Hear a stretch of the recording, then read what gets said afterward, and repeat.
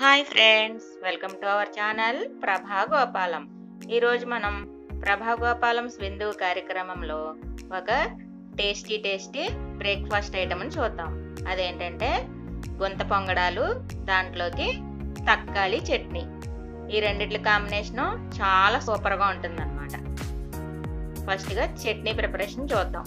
ఈ తక్కాలి చట్నీ అంటే టమాటా చట్నీ అని అర్థం. దానికి ఒక మూడు ఉల్లిపాయలు ఇలా ముక్కలు కట్ చేసుకున్నాను. రెండు పచ్చిమిర్చి రెండు టమాటాలు రెండు వెల్లుల్లి రెబ్బలు కొంచెం ఎక్కువ శనగపప్పు కొంచెం మినపప్పు ఆవాలు జీలకర్ర మూడు ఎండుమిర్చి తీసుకున్నాను.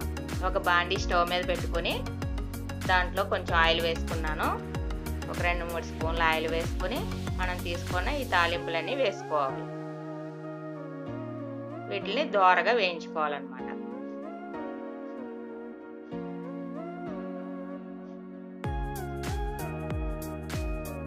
అవి వేగాక మనం తీసుకొని ఎండుమిర్చి ముక్కలు చేసుకొని వేసుకోవాలి.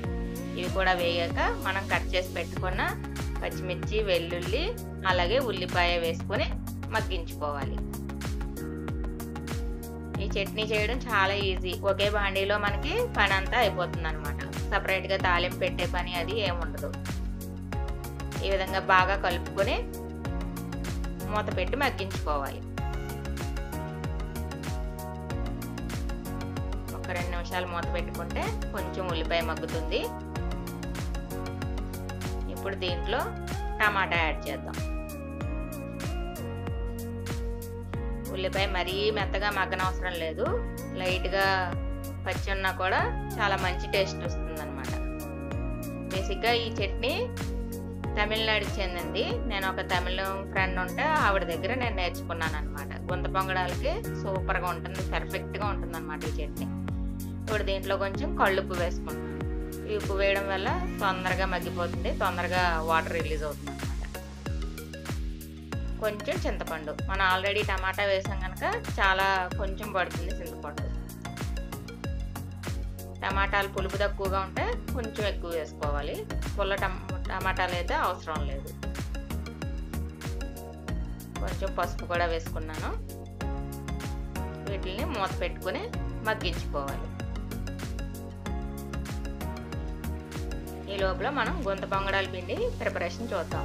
ఈ పిండికి ఒక కప్పు మినప్పప్పుకి మూడు కప్పులు బియ్యం ఎనిమిది గంటల పాటు నానబెట్టుకొని దాన్ని గ్రైండర్లో వేసుకొని మెత్తగా దోశ పిండి రుబ్బుకున్నట్టు రుబ్బుకోవాలన్నమాట. తర్వాత దాన్ని ఎనిమిది గంటల పాటు వదిలేయాలి. అంటే మనం నైట్ గ్రైండ్ చేసుకుంటే ఉదయం వరకు వదిలేసామంటే ఫ్రిడ్జ్లో పెట్టకుండా బాగా పొంగి పిండి రెడీ అవుతుంది. దాంట్లో ఇప్పుడు తగినంత సాల్ట్ వేసుకోవాలి.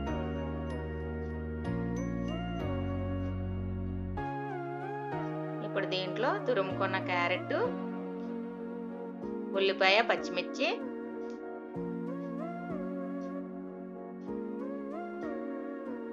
అలాగే ఒక గంట సేపు నానబెట్టుకున్న పచ్చిశనగపప్పు. ఇవి వేసుకొని కలుపుకోవాలన్నమాట. కొత్తిమీర కూడా ఉంటే యాడ్ చేసుకోవచ్చు. నా దగ్గర లేదని నేను వేయట్లేదు. ఇవన్నీ వేసుకొని బాగా కలుపుకోవాలి. చూసారా ఎంత కలర్ఫుల్గా ఉందో? ఈ కొలతలతో వేస్తే మీరు చాలా చక్కగా వస్తాయి గుంత పొంగడాలు. ఇప్పుడు మనకి రెడీ అయిపోయింది గుంత పొంగడాల పిండి అనేది. దీంట్లోకి తాలింపు పెట్టుకుందాం. మరొకసారి చెప్తున్నాను. ఒక కప్పు మినప్పప్పుకి మూడు కప్పులు బియ్యం వేసుకొని రుబ్బుకోవాలి. ఎనిమిది గంటలు నానబెట్టుకొని రుబ్బుకోవాలి. రుబ్బిన పిండిని ఎనిమిది గంటల పాటు పులిగి పెట్టాలి.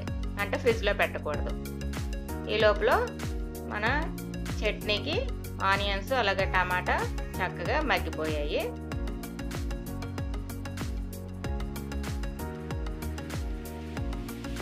స్టవ్ ఆఫ్ చేసుకుంటున్నాను. ఇది చల్లారనిచ్చి గ్రైండ్ చేసుకోవాలి. ఇక పిండిలో తాలింపు పెట్టుకోవాలి. గుంత పొంగడాలు వేసే పిండిలో కొంచెం తాలింపు వేసుకుంటే చాలా మంచి సువాసన వస్తుంది అనమాట దానికి ఒక రెండు స్పూన్ల ఆయిల్ వేసుకున్నాను. కొంచెం ఆవాలు జీలకర్ర అలాగే కొన్ని ఎండుమిర్చి ముక్కలు వేసుకుంటున్నాను. గుంత పొంగడాలు తింటూ ఉన్నప్పుడు ఎండుమిర్చి పచ్చిమిర్చి తాలింపు గింజలు ఇవన్నీ తగులుతుంటే చాలా మంచి టేస్ట్ ఉంటుంది. ఎండుమిర్చి వేగాక కొంచెం కరివేపాకు చిన్న చిన్న ముక్కలుగా కట్ చేసుకొని వేసుకుంటున్నాను. తాలింపు త్వరగా వేగిపోయింది. ఇప్పుడు దీన్ని పిండిలోకి షిఫ్ట్ చేసుకుందాం. పిండిలో వేసుకున్నాను.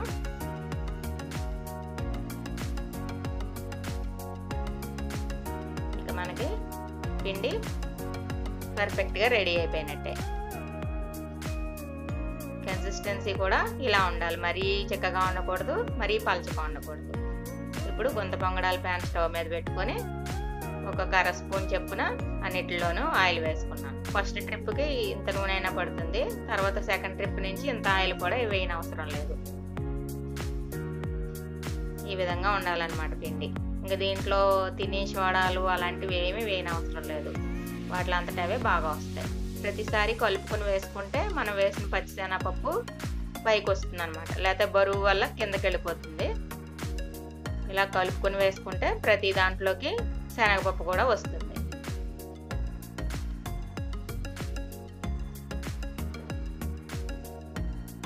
ఈ విధంగా అన్నిటిలోనూ వేసుకొని మూత పెట్టుకొని మగ్గించుకోవాలి.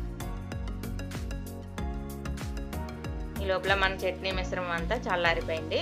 దీన్ని ఒక మిక్సీ జార్లో తీసుకొని గ్రైండ్ చేసుకుంటే మనకి చట్నీ రెడీ అయిపోతుంది. కొంచెం వాటర్ వేసుకొని గ్రైండ్ చేసుకుంటాం ఈ విధంగా మన తక్కాలి చట్నీ రెడీ అయిపోయింది. ఇది ఇడ్లీ దోశకు కూడా బాగానే ఉంటుంది కానీ గుంత పొంగడాలకు మాత్రం చాలా బాగుంటుంది అనమాట పర్ఫెక్ట్గా సూటబుల్గా ఉంటుంది. ఇంకా దీంట్లో తాలిపి వేయని అవసరం ఏమీ లేదు.